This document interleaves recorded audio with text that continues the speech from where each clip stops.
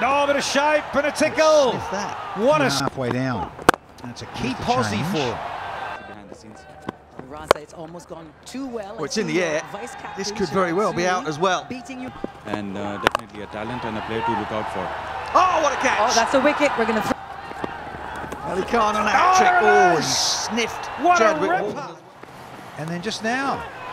So he's on a hat trick here, Double wicket maiden, because of of, that hand. Absolutely. Got to be bad if he's turning down a hat trick.